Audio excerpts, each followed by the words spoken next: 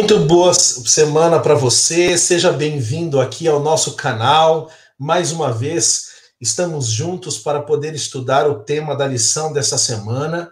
E como você já sabe, este canal especial, aqui o canal da Igreja do NASP, Campus Engenheiro Coelho, em parceria este trimestre, mais uma vez também com o canal Adventistas Brasil, que é o canal oficial da Igreja Adventista na América do Sul a gente se reúne para estudar o tema da lição dessa semana, a semana que está começando, da nossa querida lição da Escola Sabatina, ou do nosso guia de estudos da Bíblia, porque a lição da Escola Sabatina nada mais é do que um guia de estudos da Bíblia.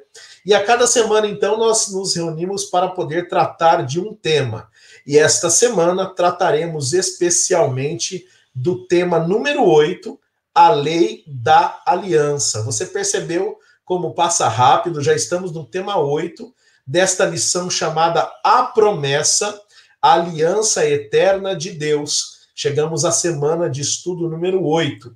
Mas eu não posso deixar de, como faço todas as semanas, desejar a você uma semana abençoada, desejar que Deus seja realmente presente na sua vida, que o estudo da Bíblia paute o, seu dia, a cada dia, quando você acorda, que a oração, o estudo da palavra de Deus seja aquilo que você faz de primeiro quando você acorda. E eu também não posso deixar de convidar você a seguir os nossos canais, principalmente aqui o canal da igreja do UNASP Engenheiro Coelho, UNASP EC no YouTube.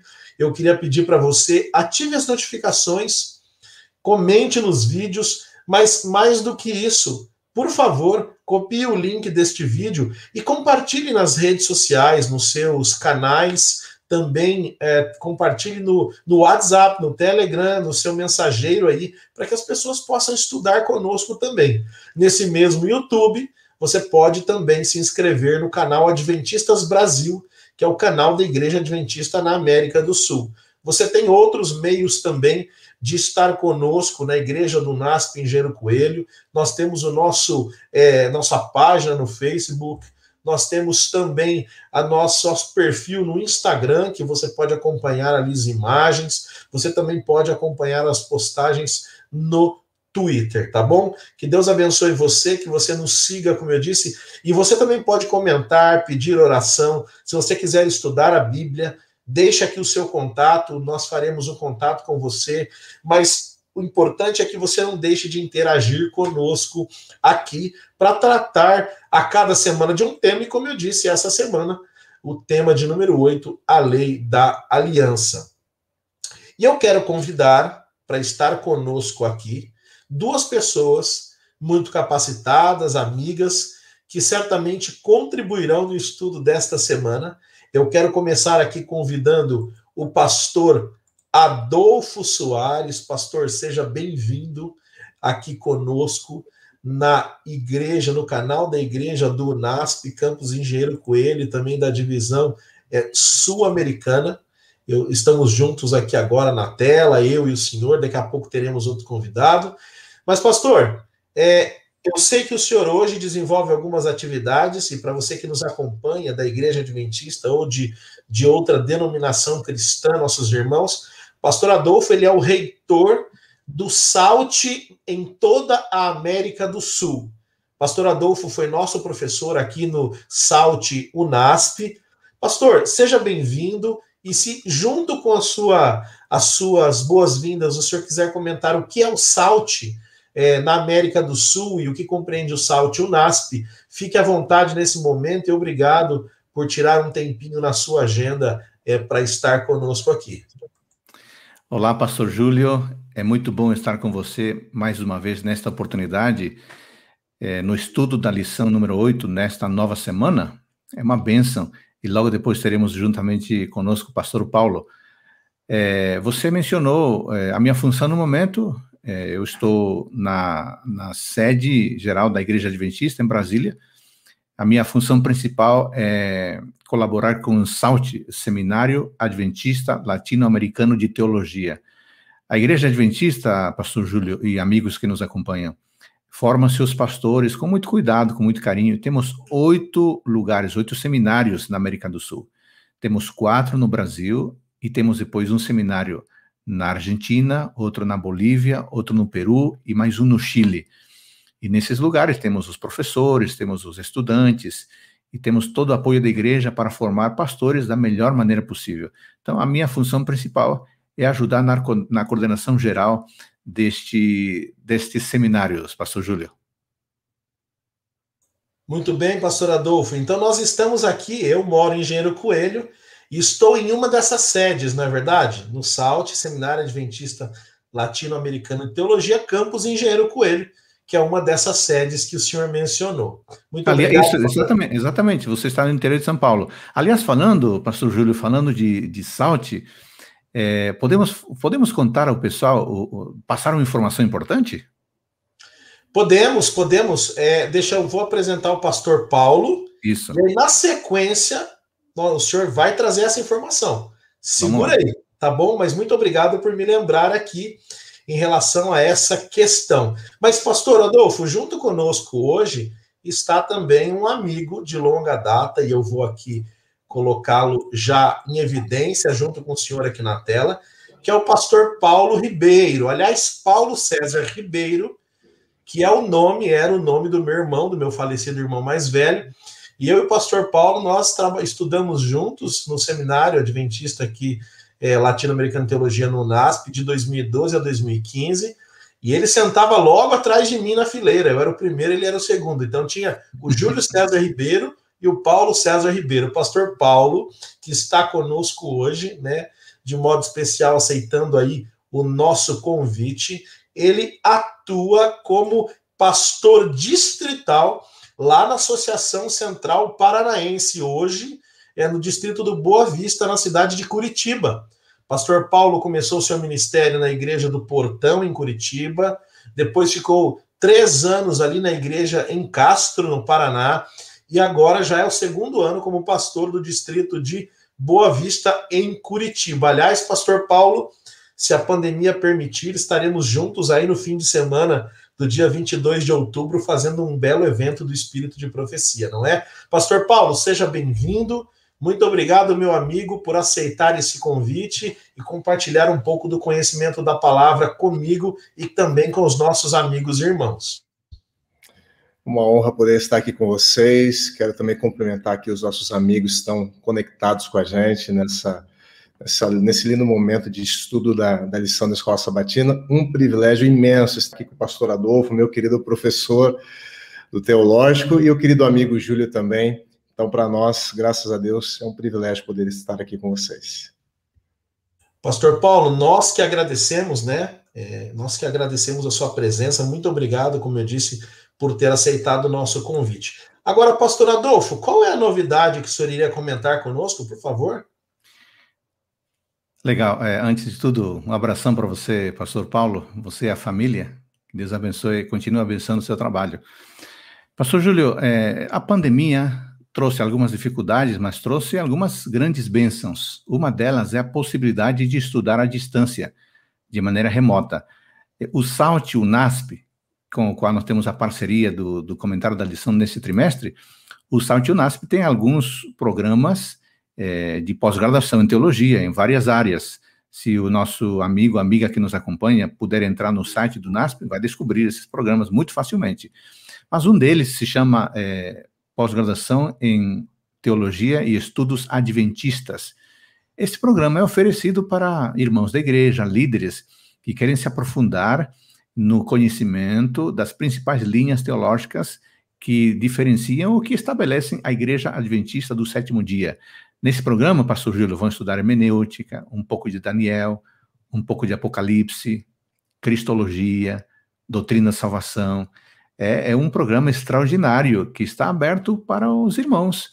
Quem sabe eles, alguém pode se interessar, entrar em contato com vocês e iniciar logo um programa desse. Será uma benção. Você que é líder na igreja local, será uma benção aprender um pouco mais da Bíblia. Pastor Adolfo, muito obrigado por nos lembrar esse detalhe. Você que está nos assistindo, você que não tem a formação em teologia, você que é médico, professor, engenheiro, contador, é, é, qualquer área que você tenha cursado a sua graduação, você pode cursar essa especialização em teologia. e estudos adventistas. E vários dos seus professores, praticamente quase todos, serão esses que têm estado conosco aqui a cada semana. Então, você pode acessar esse endereço que aparece na, na sua tela e pegar mais informações. A nova turma começa em agosto e você tem até junho para se inscrever. Ah, pastor, mas eu nunca fiz uma graduação. Não tem problema. Você que tem só o ensino médio ou, ou não cursou uma graduação, você também pode cursar e você recebe um certificado do UNASP de um curso de extensão, tá bom? Então não perca essa oportunidade nova que você, membro da igreja, líder da igreja, é, é, desejar aí é, crescer no conhecimento da palavra de Deus, acesse esse endereço, pegue mais informações ali, tem o telefone, tem o e-mail, o valor é muito acessível, tenho certeza que vai abençoar a sua vida e vai fazer você crescer no conhecimento da palavra de Deus. Tudo bem? Então, essa parceria da Igreja do NASP, do Seminário Adventista Latino-Americano Teologia, do campus universitário, aqui do Centro Universitário Adventista é, de São Paulo, campus Engenheiro Coelho, nós trazemos algumas coisas para você ser abençoado. E eu queria só fortalecer aqui é, uma outra informação para quem desejar é, adquirir o guia de estudos ou o material complementar, que é esse aqui que aparece na sua tela, Pacto Eterno, você tem acesso a esse material acessando o site da Casa Publicadora Brasileira.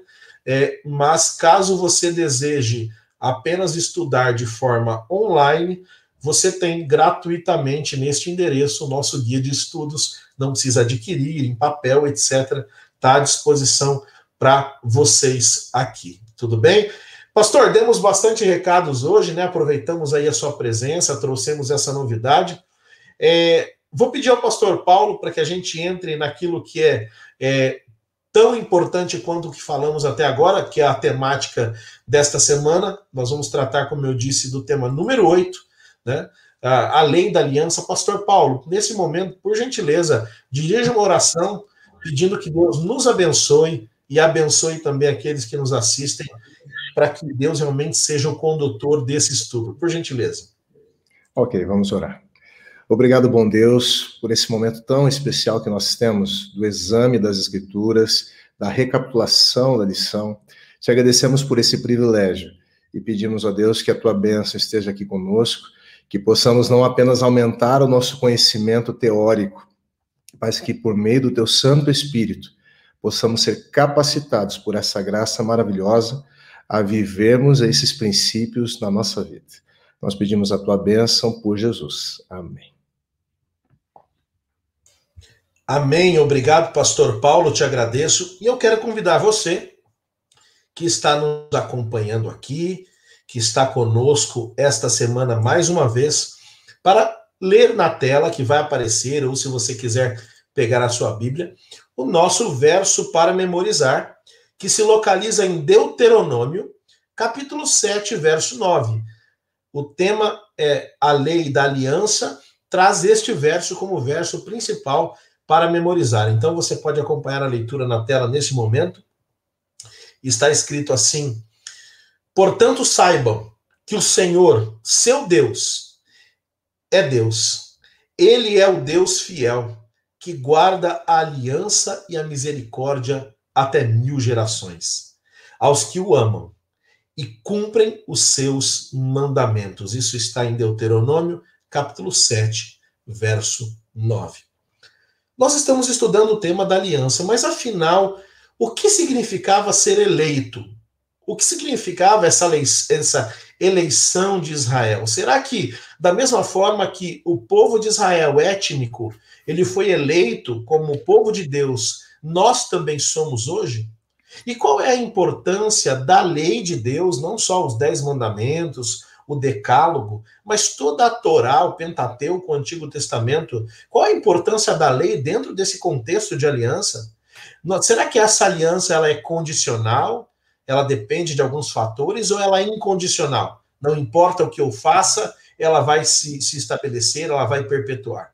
E por que é tão importante para nós, como cristãos, como parte da aliança, é, por que é tão importante nós sermos obedientes, porque a obediência é parte integrante, indispensável é, deste contexto da eleição de Israel e também da aliança de Deus com o seu povo. Bom, eu quero começar aqui é, interpelando, perguntando aqui ao pastor Adolfo. Pastor, é, nós sabemos que é, é, é preciso ter cuidado quando se fala de eleição, porque hoje muitos usam esse termo eleição de maneira equivocada em, em termos teológicos, não é?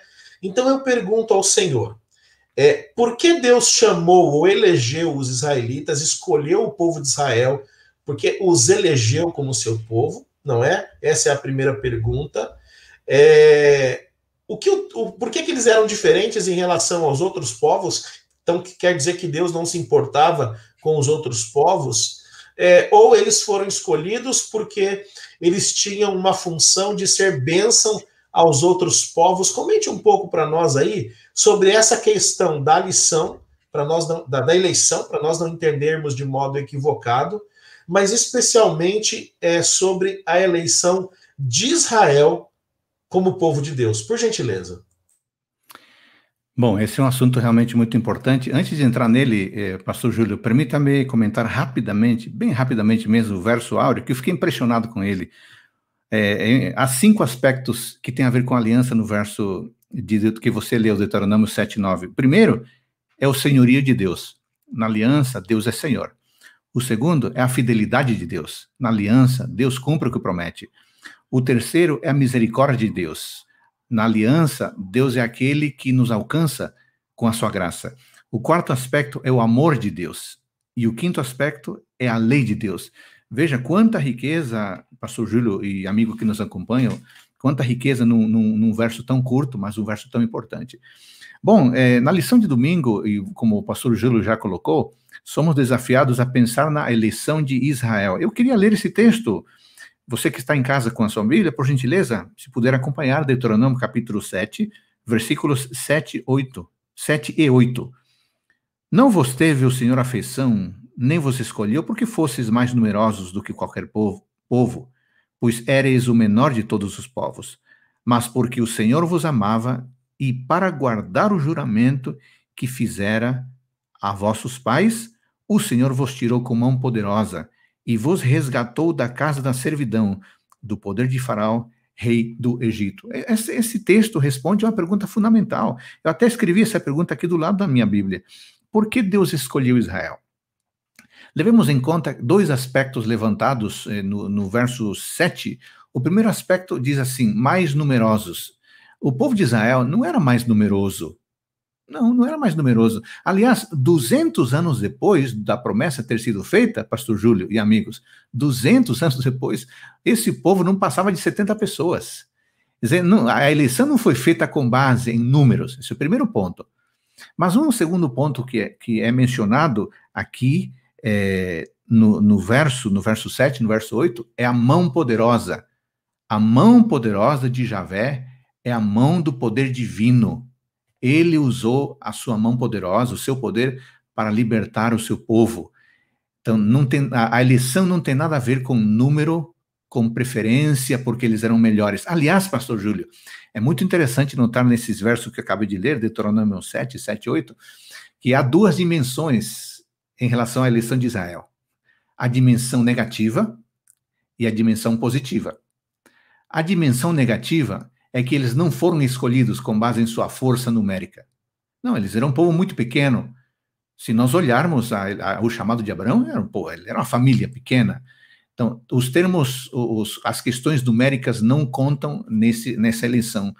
É, se nós compararmos esse povo com os povos do Oriente Próximo, eles eram os menores. Então, então essa é a questão negativa. Não vos chamei porque eres maior em números essa ênfase negativa, mas há uma ênfase, ênfase positiva. Eles foram escolhidos, pastor Júlio, amigos, eles foram escolhidos em virtude do amor de Deus. Não há como pensar em eleição sem ignorar o aspecto da graça. Deus tinha um propósito. É, é, é eu, eu entendo ao ler a Bíblia, que não há explicação completa para essa eleição. E fica, pastor Júlio, no, no, no, no, ambiente do mistério. Como é que Deus decide escolher um povo tão pequeno, muitas vezes tão rebelde, como se mostrou depois do chamado, mas ele fez essa escolha. Então, por um lado, é o amor de Deus. Por outro lado, é um amor é, incompreensível, como diz os arautos naquela formação antiga que eu gosto, pastor Júlio. Eu sei que você é quarteteiro. Que amor é este?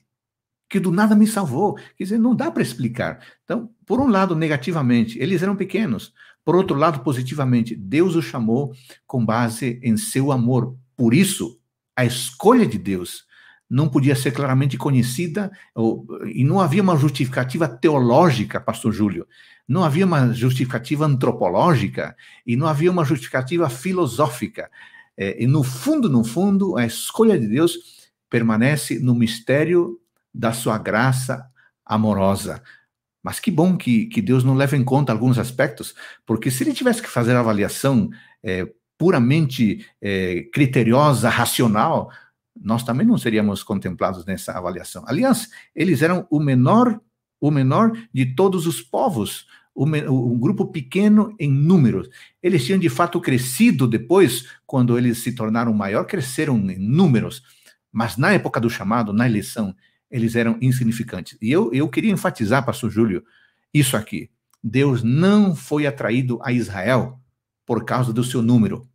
Ele chamou Abraão como um homem sem filhos. Não tinha filhos, não tinha possibilidade de filhos, então a questão numérica não entra em questão.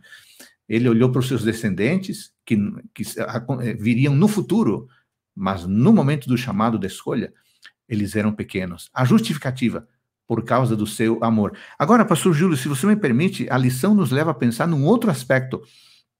Na página 98, na versão do professor, diz aqui: como adventistas, entendemos que somos o Israel moderno.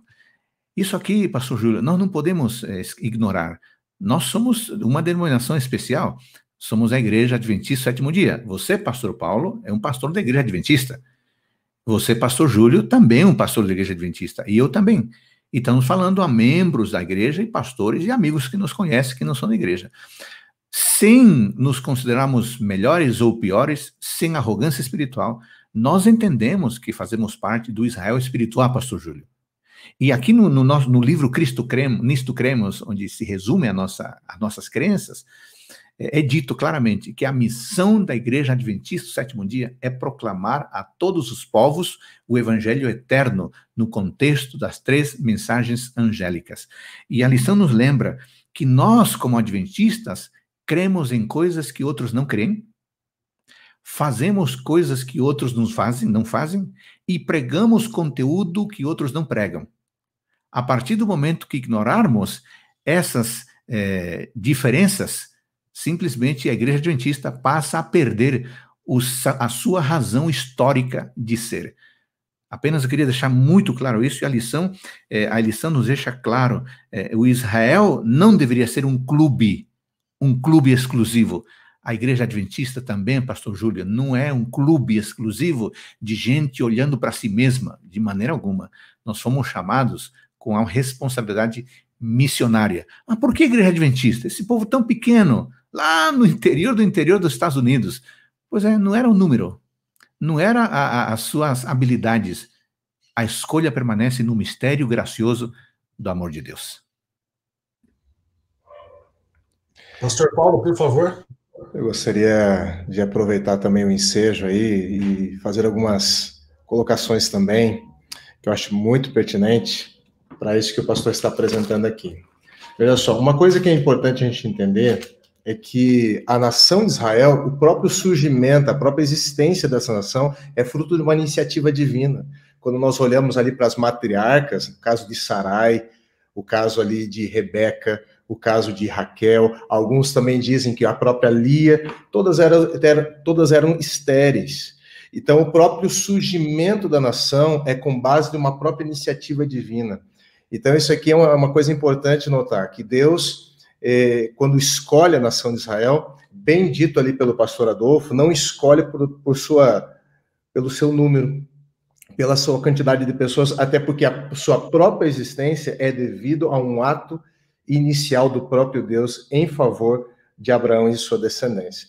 Uma outra coisa que é interessante aqui frisar, que, faz, que é muito importante, é o fato de que quando nós olhamos para Êxodo 19, e quando eles acabaram de sair do Egito, e Deus fez uma obra miraculosa, é, abrindo o Mar Vermelho em duas partes, e eles passam, e Deus agora destrói todos os inimigos de Israel ali, os egípcios, bem como o faraó, e a caminho então do Sinai, quando eles estão quando eles chegam no Sinai, então chega aquele momento em que Deus diz assim para Moisés: Moisés, é, vocês têm três alternativas aqui. Ou vocês voltam para o Egito, da onde eu tirei vocês, ou vocês continuam o caminho agora sem mim, ou vocês agora entram numa aliança comigo. Se vocês quiserem que eu seja o Deus de vocês, então eu gostaria que, se assim for, vocês se tornassem uma nação peculiar, uma propriedade exclusiva de mim. Mas o que significa ser isso? Significa ser um reino de sacerdotes. Ou seja, Deus não escolhe apenas a tribo de Levi para serem os seus sacerdotes. Claro que isso é uma verdade. Né? Mas a, a, nação como um todo deveria ser um reino de sacerdotes, e isso significava o quê? Não apenas ser uma nação que servia ao Deus verdadeiro, esse é um aspecto, mas o outro aspecto é que a nação serviria às outras nações, pelo fato de servirem ao Deus verdadeiro. Então nós percebemos que desde o início do trato de Deus com Abraão, quando ele disse assim: que serão benditas todas as famílias da terra. E nesse momento que ele propõe uma aliança, ele não impõe uma aliança, mas propõe uma aliança a Israel, ele já está incluindo Israel por causa dos outros, dizendo: gente, eu escolhi vocês, eu amo vocês e quero que vocês sejam um reino de sacerdotes e para que vocês sirvam, não apenas a mim, mas a todas as, as outras nações. Né? Então, esse é um aspecto importante aí. Para você que nos assiste, você que está acompanhando o que o pastor Adolfo colocou e agora o pastor Paulo, você percebeu que eleição na Bíblia não tem necessariamente a ver com escolha de Deus para quem se salva e quem se perde. Pelo contrário, na verdade, os eleitos na Bíblia, a Bíblia diz que nós fomos eleitos, escolhidos por Deus, né? Lá no, no livro de, na Epístola de Pedro, tirado das trevas, levados para a luz, para anunciar as grandezas dele às outras pessoas. Então, quando Deus elege Israel, minha querida irmã, meu querido irmão da igreja adventista ou outra denominação, Deus está escolhendo um povo para uma função. E essa função passava pelas, por exatamente, primeiro, ser santo, seguir a Deus, a sua palavra, os seus mandamentos. E em segundo, ser testemunha, não é? Testemunhar desse Deus a outras nações que não o conheciam. Mas, pastor Paulo, falando um pouco dessa questão de ser santo, né, daquilo que Deus nos chama é, a fazer, é, uma pergunta. Quando nós lemos lá Deuteronômio 4,13, nós encontramos o seguinte: Então ele, o Senhor, anunciou a sua aliança, que ordenou a vocês os dez mandamentos e os escreveu em tábuas de pedra. Pastor, nós sabemos que somos salvos unicamente pela graça. Muitos acusam os adventistas de serem legalistas é, por acharem que são salvos por obedecer à lei. Não. Nossa, nosso livro de, de, de crenças fundamentais, o Nisto Cremos, como o pastor Adolfo mencionou, você vai ver que ali nas nossas declarações de fé, nós cremos na salvação unicamente pela graça, através da fé no sangue de Jesus Cristo derramado por nós na cruz do Calvário. Então, nós cremos na salvação pela graça. Porém, pastor Paulo, fica aqui a batata quente na sua mão, pastor Adolfo depois pode complementar. Como relacionar a aliança a lei. De que maneira esse texto que nós lemos agora em Deuteronômio, ele, ele entrelaça ou ele liga a lei de Deus, e a lei vai muito além dos dez mandamentos, né, pastor Adolfo? Nós falamos aqui da Torá, de todo o Antigo Testamento, do Pentateuco. A lei, na Bíblia, ela é muitas vezes muito mais do que os dez mandamentos. Quando a palavra lei, Torá, é usada, há uma referência muito mais ampla. Mas, pastor Paulo, é, como ligar, então, a aliança à lei de Deus se nós somos salvos pela graça? O que esse verso de Deuteronômio 4,13 está querendo nos dizer? Ok. É, querer causar um divórcio né, entre a lei e a graça é a mesma coisa que perguntar, é a mesma coisa que querer dissociar uma asa de um passarinho que tem duas asas. Então, são duas coisas que elas, elas andam juntas, elas estão totalmente vinculadas, e a lei não anula de maneira nenhuma a salvação que é proveniente da graça de Deus aceita pela fé. Agora, o que, que acontece? Por que, que a lei, então, ela é apresentada? Eu gostaria de fazer algumas colocações para que você pudesse pensar, querido amigo, querida amiga. Percebe que a lei, lógico que os mandamentos de Deus é um dever de toda a humanidade, como diz lá Eclesiastes, Eclesiastes. Mas eu gostaria que você olhasse por uma outra perspectiva aqui.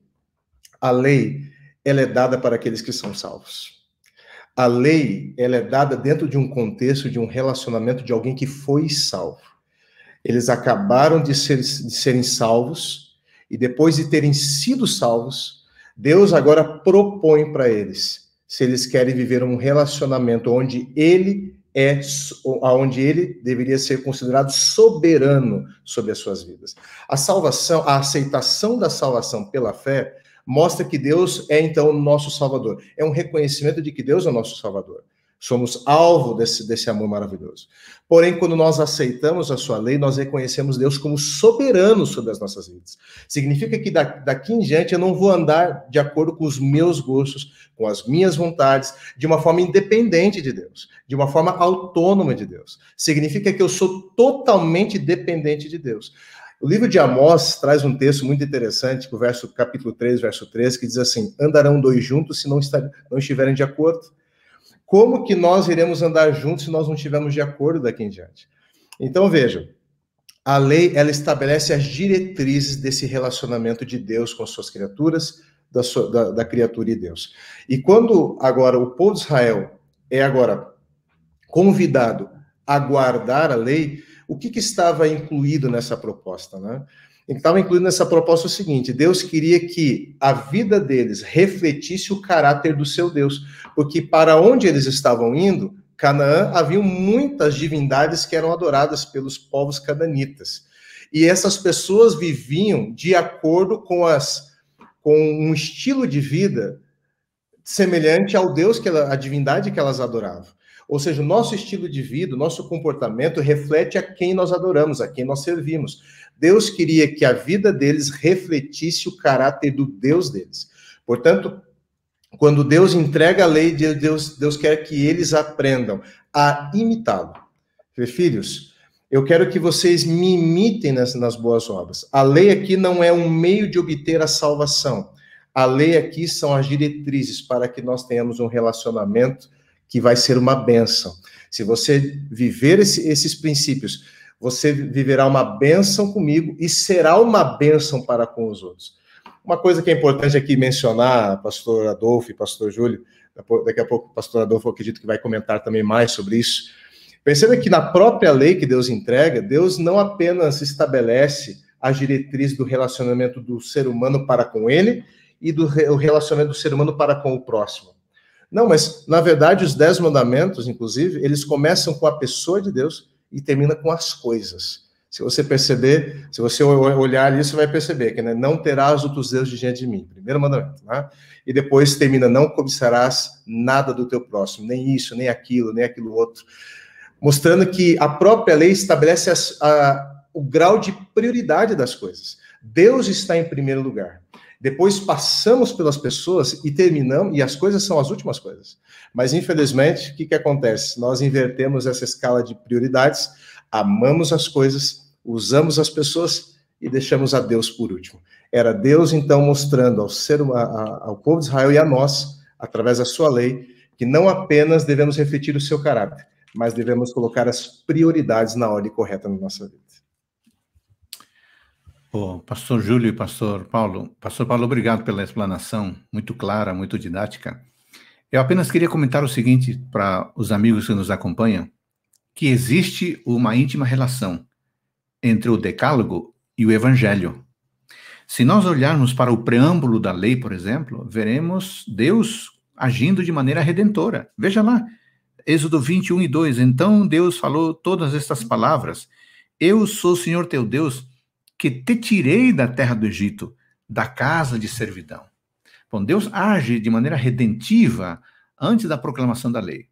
Mas após a proclamação dos Dez Mandamentos, Deus instrui os israelitas para erigirem um altar e para começarem a oferecer sacrifícios, que seria, digamos assim, a revelação dessa graça redentora. Logo depois, então, no Monte Sinai, Deus deu a Moisés grande parte das leis cerimoniais relacionadas com a construção do santuário, que mostrariam também a presença de Deus com eles. E eh, entre esses, esses elementos que Deus apresenta, existem os sacrifícios, que seriam praticados dia após dia, antecipando a obra mediadora de Cristo. Em favor de quê? Em favor da redenção dos pecadores e em favor da vindicação do caráter de Deus, mostrando sim a santidade da lei de Deus, que era quebrada pelos seus filhos e filhas. Portanto, não dá para separar lei e evangelho no Sinai. Deus age como agente redentor, mas ele oferece todo um sistema didático de perdão de pecados Perdão de pecados é, entre outras coisas, a transgressão da lei. O pecado é a transgressão da lei. Bom, esse é um ponto. Mas ah, o pastor Júlio me permite comentar algo também relacionado aqui com a lição de segunda-feira. É, tem uma frase que me chamou a atenção. Diz assim: é, a graça não é uma licença para desobedecer, viu? Não é. Aliás, pastor Júlio e pastor Paulo, eu tenho a impressão de que isso está muito mais comum do que a gente gostaria as pessoas estão usando a graça como licença para fazer coisa errada. Ah, Deus me ama, no final das contas ele me perdoa. E às vezes acusam, pastor Paulo e pastor Júlio, aos aqueles que defendem a lei como legalistas. Você está fazendo muita questão de coisas que Deus não faz. É, algum tempo atrás eu fiz um estudo sobre o tema da, da questão da liberdade e eu pensei, eu pensei assim, eu me perguntei, Será que, será que a, a, os, todos os estudiosos defendem a liberdade ilimitada? E eu me deparei, pastor Júlio, pastor Paulo, me deparei com, com um estudioso francês que dá aulas na, dava aulas na época na USP, é, na área de psicologia. E eu, num texto onde ele escreve sobre os limites, achei extraordinário. E nesse texto, o Dr. Yves Delataille, falando, estava falando do, de três tipos de limites com os quais os seres humanos precisam lidar. Primeiro, limite como ser como uma fronteira a ser transposta, que é a questão da maturidade. Você com cinco anos de idade não pode fazer algumas coisas, mas vai fazer essas coisas com 25. Então, é, limite como fronteira a ser transposta. Segundo, limite como fronteira a ser respeitada. A, a, a lei de Deus oferece fronteiras para serem respeitadas. E o terceiro ponto que o doutor Ives Zelatain levanta é limite como fronteira a ser construída. E aí me parece que é, essa percepção dos mandamentos como limite, é, a graça não é uma licença para desobedecer, essa percepção dos mandamentos como limite se encaixa nesses dois aspectos. Primeiro, é uma fronteira que Deus levanta que é que nós respeitamos, que é que nós respeitemos. E, e quando ele nos dá os mandamentos, ele constrói diante de nós uma muralha de proteção. Agora, sabe o que acontece? quando esses limites não são respeitados, ou são violados, ou queremos avançar neles na hora equivocada, eu fiquei impressionado com que esse, esse doutor, Yves Delatay, que é um humanista, ele diz, ele diz assim, ó, se pela desobediência ultrapassa essa fronteira do que deveria ser respeitado, perde-se então a própria liberdade. E o ser humano pode estar diante de uma crise de valores, além de voltar a um estado selvagem em que vale a lei do mais forte. Gente, quando Deus estabelece limites, e quando ele diz que a sua graça não é uma liberdade para viver em desobediência, ele está agindo de uma maneira mais cordata e, e sensata possível. Porque se ele não colocar limites, vale tudo. E onde vale tudo, ninguém respeita ninguém, ninguém respeita nada. Seria um estado selvagem onde ninguém teria segurança de nada observemos pelo lado sociológico, que é o e, e, e humanista que o doutor Ives de Latay está colocando, mas agora levemos isso para o lado espiritual, teológico, pastor Júlio, pastor Paulo. Deus foi muito sensato, não poderia ser diferente, ele é Deus. E com o tempo nós descobrimos que esses muros que ele ergueu são muros de tremenda proteção para cada um de nós. É verdade. Eu gostaria até de fazer mais uma consideração aqui, pastor, quando a gente está como a gente está abordando nessa relação lei e graça, quando a gente olha da perspectiva de que por detrás de cada mandamento, na verdade, existe um princípio imutável de Deus, né? Quando nós olhamos, vou dar um exemplo aqui para o nosso querido amigo que está acompanhando. O que, o que eu quero dizer com isso? Por detrás de um mandamento existe um princípio.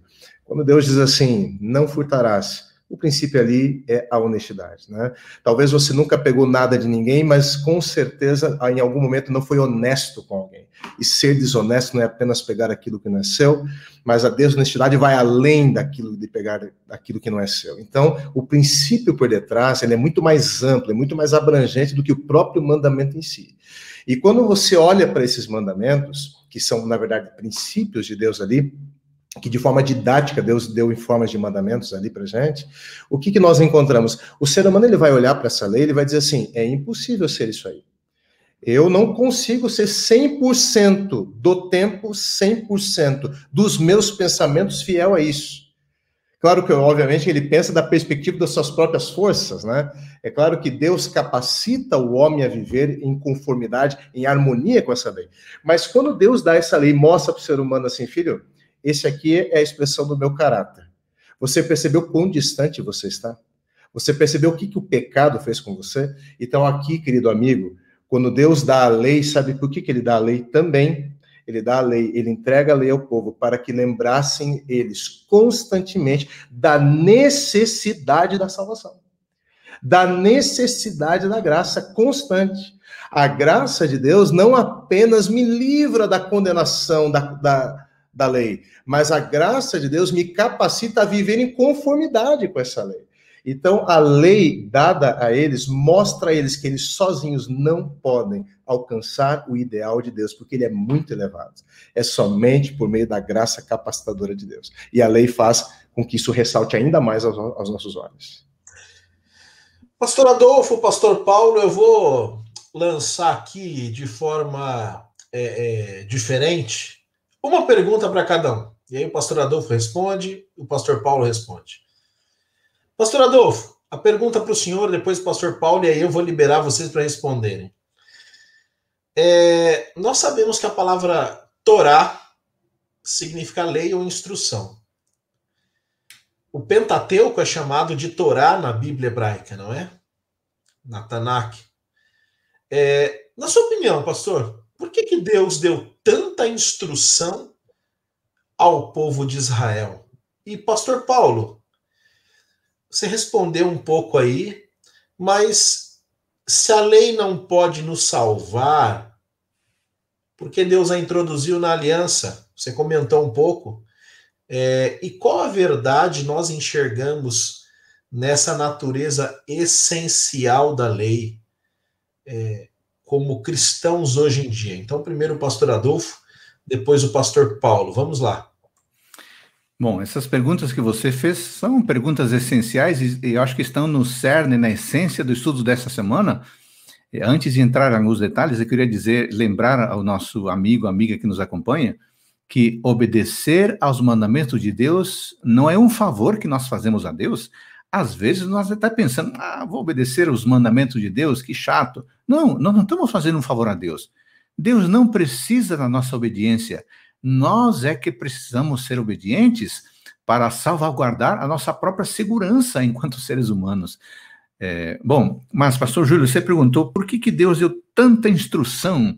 Eu fiquei pensando quando estudei a lição de terça-feira, é, por, que, por que tanta instrução, tanto detalhe? É, esta pergunta leva a várias respostas, pastor Júlio e amigos, mas eu queria re resumir em algumas ideias. Primeira, Deus deu é, a, os mandamentos ao seu povo porque a lei revela a vontade de Deus para a humanidade. A lei diz: Eu gostaria que os cidadãos do meu reino vivessem desta forma. Meu propósito para a humanidade é este então ele apresenta a lei, que é uma manifestação do seu caráter. É, o próprio Jesus Cristo foi claro em Mateus capítulo 19, versículo 17. O que, que diz lá? Se queres, porém, entrar na vida, guarda os mandamentos. Queremos ter uma vida diferenciada, uma vida de acordo com a vontade de Deus, precisamos obedecer aos mandamentos. Então, essa obediência é desafiadora. Isso é possível por intermédio da atuação do Espírito Santo em nosso favor. Um segundo ponto para considerar, pastor Júlio, diante dessa pergunta, é que Deus deu muitas instruções porque elas são a base do concerto divino. A gente sabe na Bíblia que Moisés escreveu os Dez Mandamentos junto com outras diversas leis explanatórias, é, uma obra chamada Livro do Concerto, o Livro da Aliança, está lá em Êxodo 20. Mais tarde, ele identificou os mandamentos como tábuas do concerto, ali em Deuteronômio capítulo 9, versículo 9. Portanto, é, é, os mandamentos foram dados porque eles são a base da aliança, do pacto que Deus estabeleceu com o ser humano. Mas tem mais. Uma outra razão pela qual Deus deu tanta instrução aos mandamentos é porque eles funcionam como padrão de julgamento. Deus diz: é assim que vocês devem viver. E lá na frente, é isso, ou é a partir disso, que ele vai cobrar o nosso estilo de vida. O Salmo 119 diz que os mandamentos de Deus são justiça. Tudo aquilo que Deus descreve e prescreve é correto, é justo. Então a lei estabelece o padrão de justiça que Deus gostaria de ver em seus filhos e filhas. Mas não é só isso, não. É, por que, que Deus deu tanta instrução? Na, na pergunta de terça-feira.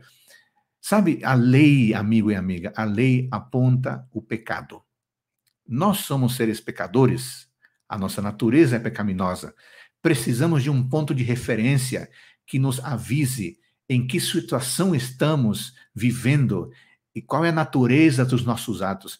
Amigos, sem as instruções de Deus, sem os dez mandamentos, as pessoas não teriam condições, nós não teríamos condição de ver de que forma poderíamos ou deveríamos viver. Esse é um lado. Sem os mandamentos de Deus, nós não teríamos a mínima condição também de entender um pouco da santidade de Deus.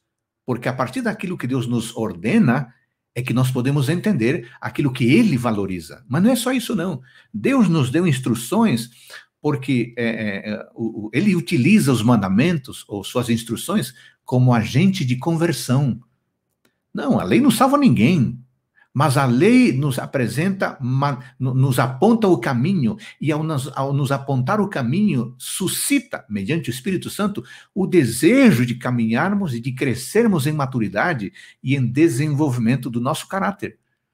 E, além disso, por incrível que pareça, isso pode parecer, pastor Júlio, pastor Paulo, isso pode parecer a, a, a algumas pessoas que olham para a lei como algo pesado, mas na Bíblia é, é interessante o que vou colocar agora. A lei foi dada para prover genuína liberdade.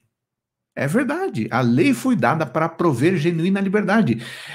Em João capítulo 8, versículo 34, o próprio Jesus, tem, tem gente, pastor Júlio, conclamando Jesus, porque Jesus ama, Jesus é gracioso, Jesus como chave hermenêutica, essas questões que são complicadas. Mas sabe o que, que Jesus disse, pastor Júlio? João 8,34?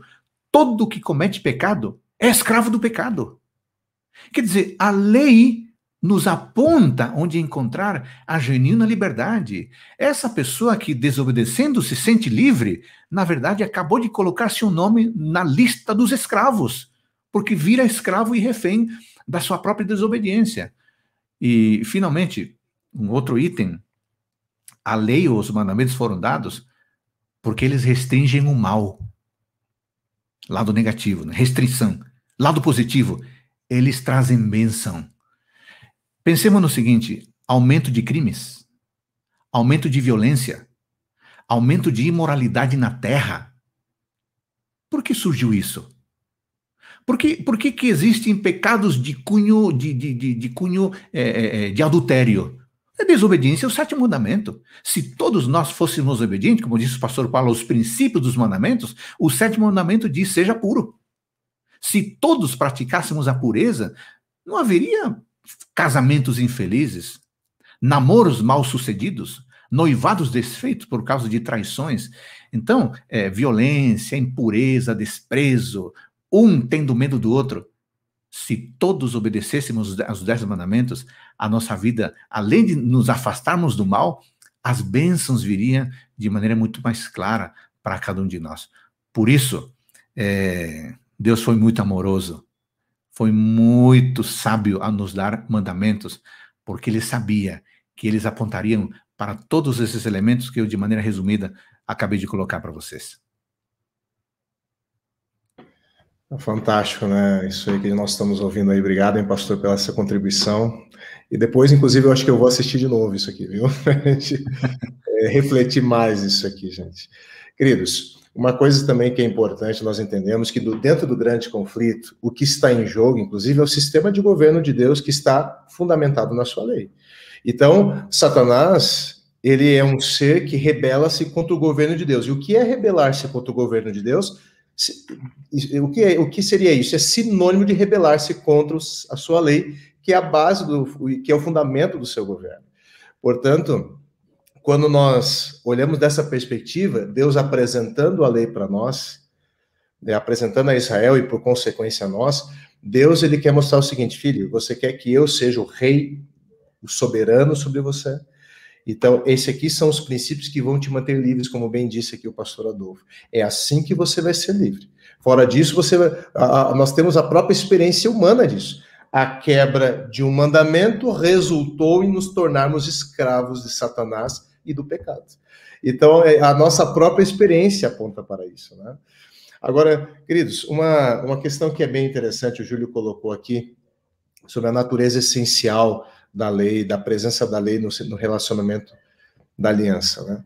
Queridos, na verdade, quando nós olhamos aqui, eu já até falei um pouquinho, vou falar um pouquinho mais, a lei, ela não é uma entidade independente do seu legislador. Porque a lei nada mais é do que reflexo daquilo que Deus é. Então, elas são coisas inseparáveis. Quando você, por exemplo, olha o Salmo 119, o Salmo 119 é o maior salmo da Bíblia, um salmo fantástico, essa obra que é composta de 176 versículos. Na verdade, nós chamamos do o alfabeto, na verdade, nós, na verdade, não. Na verdade, quem diz isso, Spurgeon, Charles Spurgeon, um pregador, diz assim: é o alfabeto do amor divino porque todo o Salmo 119 foi construído com base nas 22 letras que compõem o alfabeto hebraico. E interessante que o compositor desse salmo, ele compôs, então, oito estrofes de cada, começando com uma letra do alfabeto. Oito vezes 22, então você chega ao número de 176 versos. E qual foi o assunto que ele escolhe para compor essa, essa maravilha, né? Esse hino, esse cântico, a lei de Deus, a palavra de Deus. E quando você olha para o Salmo 119, eu vou dar apenas alguns exemplos para você, como a lei ela não funciona de forma independente do próprio Deus. Então, olha só que interessante, interessante. O Salmo 119, verso 1, por exemplo, diz o seguinte, ó: Como são felizes que, os que andam em caminhos irrepreensíveis, que vivem conforme a lei do Senhor. Perceba a lei do Senhor. A lei nunca é apresentada sozinha no, no, Salmo 119. Ela é sempre em conjunto com o próprio Deus. Exemplo, Salmo 119, verso 18. Abra os meus olhos para que eu veja as maravilhas da tua lei. Aí você tem o Salmo 119, verso 34. Dá-me entendimento para que eu guarde a tua lei e a obedeça de todo o coração. Então, veja, é, isso, isso aqui é importante nós entendemos que a lei é o reflexo do próprio Deus. Rejeitar a sua lei é rejeitar o próprio governo de Deus. Então diz assim, filho, se você não quiser que eu seja o governante sobre a tua vida, então, infelizmente, como que nós teremos um relacionamento aqui? Porque o relacionamento saudável ele vai ser construído com base nessas diretrizes que são reflexos do meu caráter e eu quero que você reflita. Em detalhe, um detalhe importante, quando nós fomos criados, a Bíblia diz que nós fomos feitos à imagem e semelhança de Deus o que o pecado fez foi desfigurar esses princípios no nosso coração, e quando Deus dá essa lei para nós, ele está causando uma gênese em nós, causando uma mudança em nós, aonde nós vamos nos tornando cada vez mais semelhante a ele. E esses princípios, eles vão se tornando princípios que é que fazem parte do nosso estilo de vida, da nossa vida. E as pessoas vão olhar para você, não vão ver mais você. Elas vão ver Deus em você.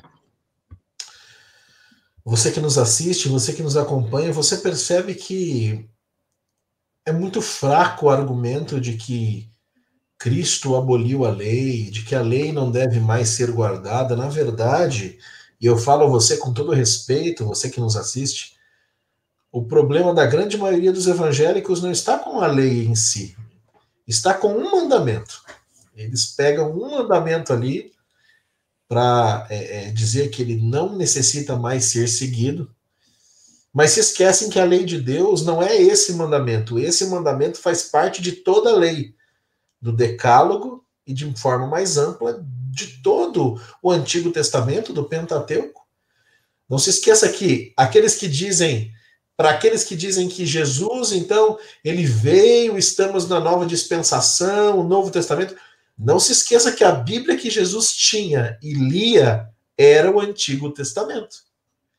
E é muito interessante como alguns teólogos, meus irmãos, minhas irmãs, é, por exemplo, eles querem anular ah, muitas vezes a questão do sábado na lei, porque está no Antigo Testamento, mas não anulam o dízimo, que também está no Antigo Testamento.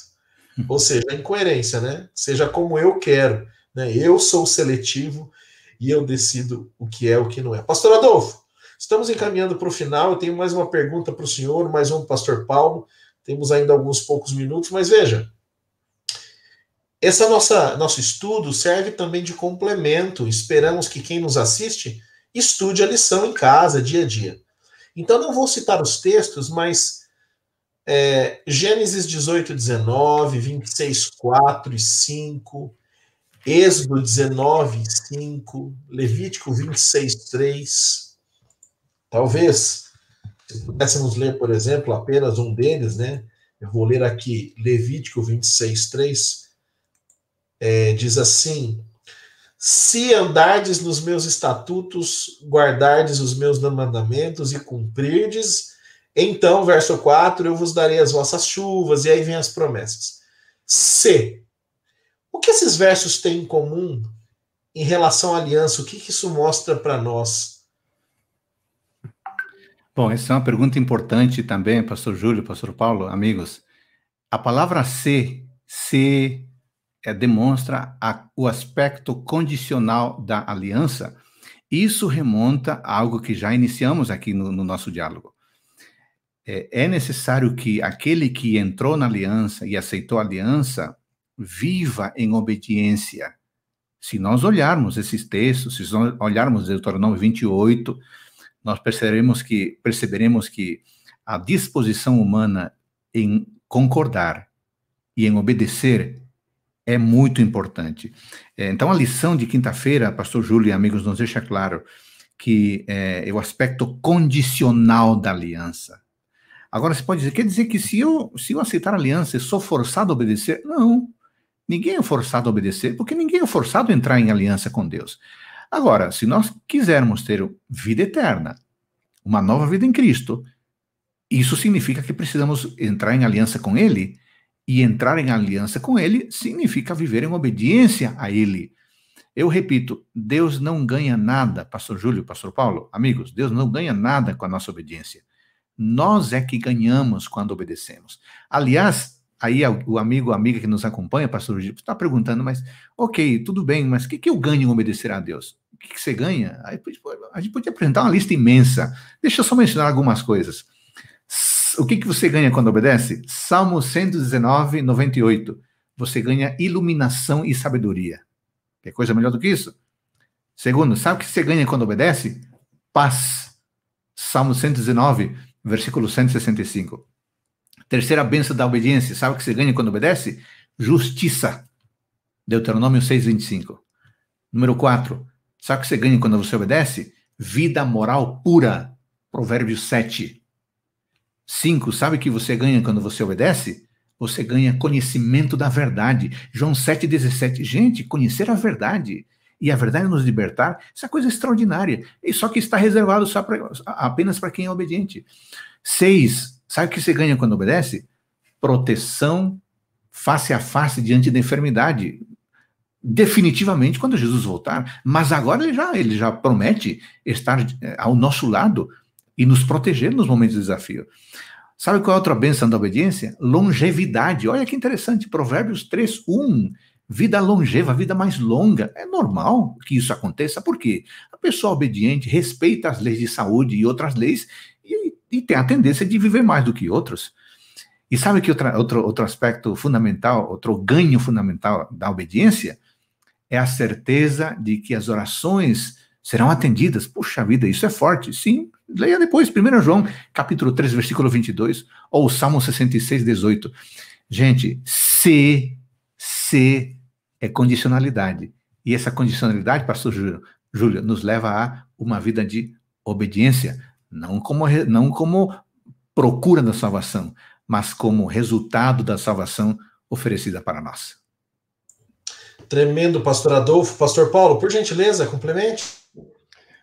É muito interessante que nós olhamos para as, as alianças, elas tinham ordens, elas tinham obrigações, todas elas, inclusive a aliança feita com Deus feita de Deus para a comunidade, ali no Éden, aí você tem aquela ordem, não deve comer desse, desse fruto, dessa árvore, sempre houve uma, um mandamento, sempre houve uma condição, e a condição para que eles pudessem permanecer no jardim e pudessem desfrutar da imortalidade era a obediência. Então, só que eles deveriam obedecer a Deus como resposta a tudo aquilo que Deus fez por eles, não pela motivação legalista, não pela, não pela motivação é, meritória, eu, quero, eu vou fazer isso para obrigar a Deus a fazer aquilo para mim, ou porque eu quero receber algo de Deus. Não, não nesse sentido, mas como resposta. Nós temos que entender o seguinte, gente. Pode, perceba que a, a obediência sempre será uma resposta à fé. Sempre. Exemplos? Quando Deus chega para Abraão, ele diz o seguinte: sai da tua terra e vai para uma terra que eu te mostrarei. Abraão para que ele pudesse obedecer, ele, precisava, ele precisaria confiar. Se ele não confiasse, ele não iria obedecer. Portanto, a obediência de Abraão era decorrente da sua confiança. A confiança em Deus vem em primeiro lugar, a fé em Deus vem em primeiro lugar. Por consequência, vem a obediência. Por ter confiado, ele obedeceu. Portanto, a obediência é a resposta da fé genuína. Portanto, se você não quer obedecer, é porque talvez o teu problema não esteja na, na lei. O teu problema esteja confiar em Deus.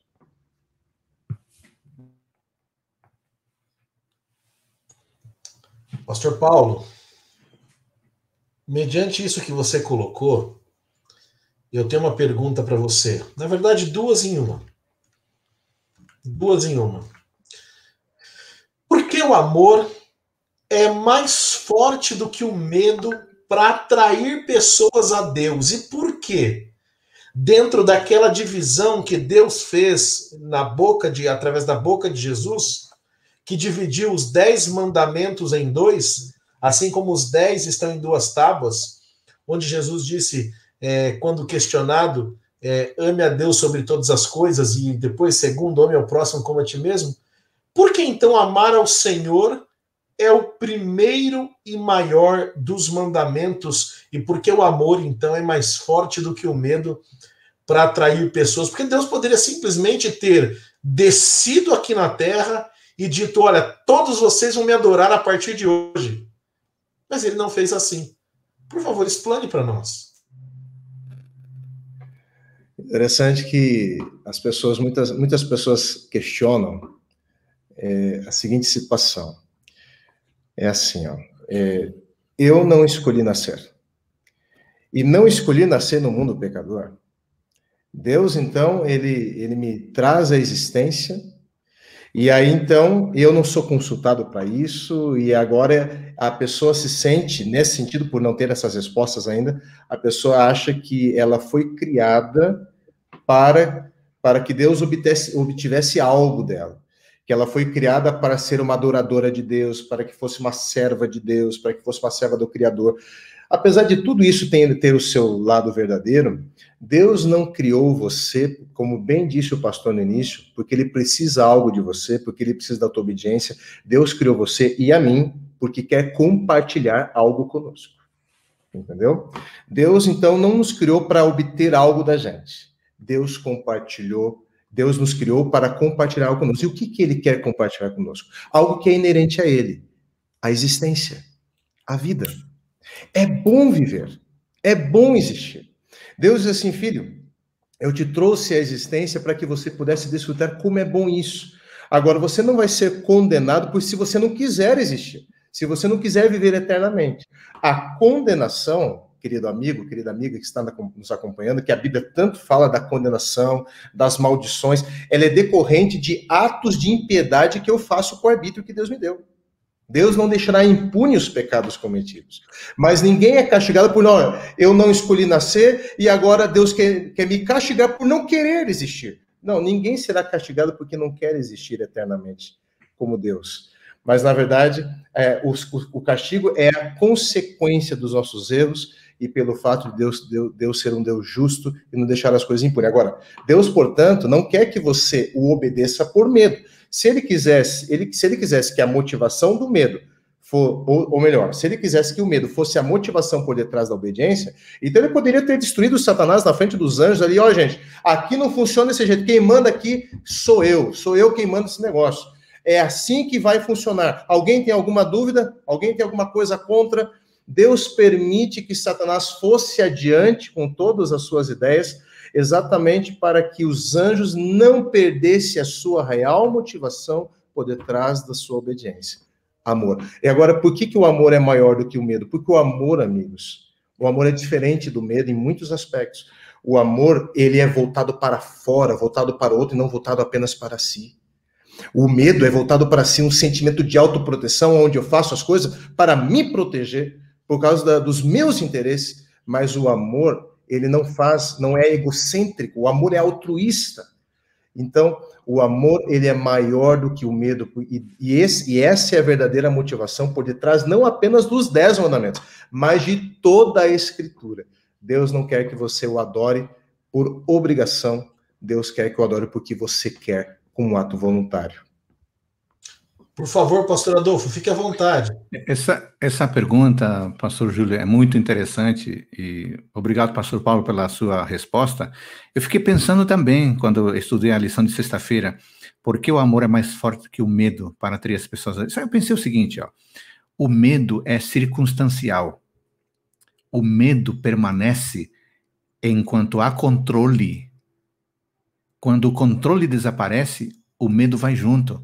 Então, o medo é instável, ele depende de agentes exteriores.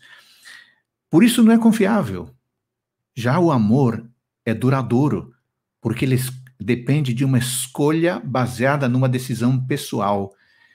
Daí que o amor é muito mais forte e consistente que o medo, porque não é circunstancial. Ele não depende de um agente externo que me motive a fazer isto ou aquilo. Não, depende de um coração transformado. Já o medo é a demonstração de que a motivação está incorreta e de que o coração não passou por transformação. E a segunda pergunta que você fez, pastor Júlio, por que amar o Senhor é o primeiro e maior mandamento? Olha, somente quando amamos a Deus primeiro é que temos uma perspectiva correta das coisas, da pessoa, das circunstâncias. Enquanto o nosso amor não estiver centralizado primeiro em Deus, e, e em outros aspectos, nosso foco estará errado, nossa leitura da realidade será incorreta. Somente em Deus é que nós aprendemos a ver com os olhos da fé, que são os olhos que melhor enxergam. Queridos pastor Adolfo, pastor Paulo, quantas outras coisas nós teríamos aqui para falar, mas eu queria dizer, para chegarmos ao final aqui, estamos encerrando, para você que nos acompanhou até aqui, você percebeu que a lei de Deus, e quando eu falo a lei de Deus, por favor entenda, meu irmão, minha irmã, você que é de outra denominação, nós não estamos falando que é, a lei é o que nos conduz à salvação, pelo contrário. Nós reforçamos, cremos na salvação única e exclusivamente pela graça através da fé nos méritos de Cristo. Nós não acreditamos que, que guardar a lei é, é, é, vai nos levar à salvação. Você precisa entender que obedecer a lei não é legalismo. Legalismo é obedecer a lei esperando que isso te leve à salvação. Mas guardar a lei, obedecer a lei de Deus, e eu falo não só dos decálogos, do decálogo, perdão, dos dez mandamentos, mas daquilo que Deus deixou no Antigo, no Novo Testamento, toda a Bíblia, é dever de todo homem, assim diz a palavra. Obedecer a Deus é dever de todo homem. Portanto, o meu apelo a você é que você abra o seu coração para esse entendimento. Né? E o pastor Paulo, o pastor Adolfo aqui tão bem colocaram. Eu queria agradecer muito a vocês, pastor Adolfo Soares, reitor do Seminário Adventista Latino-Americano de Teologia em toda a América do Sul, oito locais aí que formam pastores e teólogos. Pastor Adolfo foi professor aqui no NASP Campus Engenheiro Coelho, foi coordenador acadêmico, não é? E depois recebeu esse chamado, essa incumbência para cuidar dos seminários em toda a América do Sul. Pastor Adolfo também, que é pedagogo, me lembrava o pastor Paulo aqui das listas, né, na sala de aula. É, o pastor Adolfo citava mais livros numa aula do que a gente conseguia ler em uma semana. É, então, pastor, muito obrigado pela sua didática, pelo seu tempo. E, pastor Paulo, como não agradecer a você, né, meu amigo, eu posso chamá-lo de amigo, estudamos quatro anos juntos, eu ia à sua casa, você ia à minha casa, fizemos três meses o estágio de evangelismo na mesma casa, dormimos no mesmo quarto, ou seja, é, é um prazer ter você aqui também.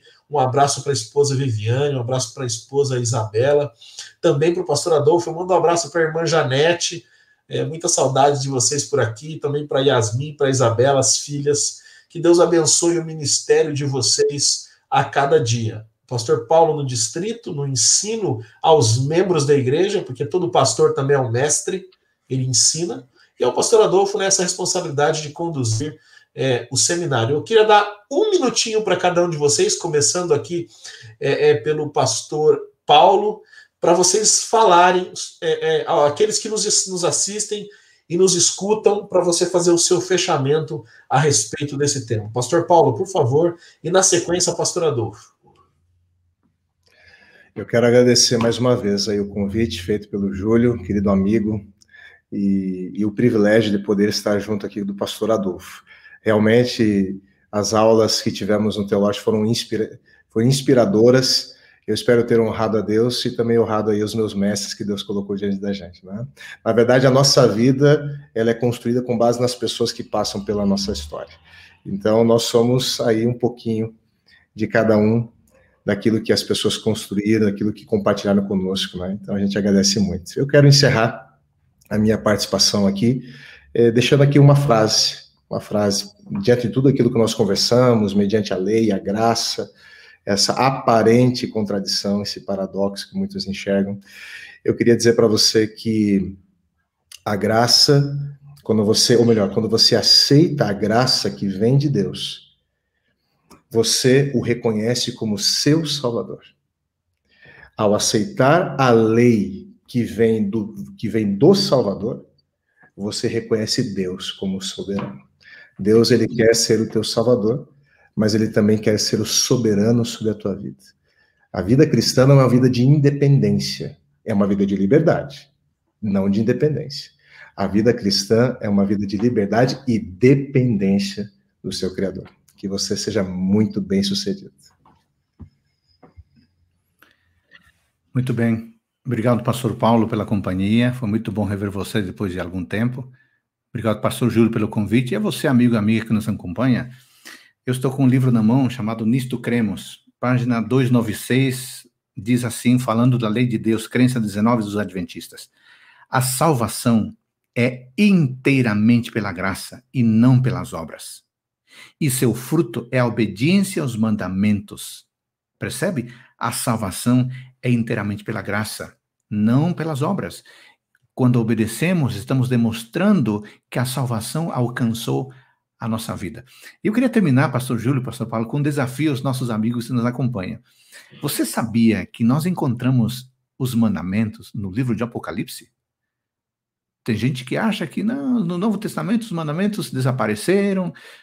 Gente, ali, ó, quer anotar?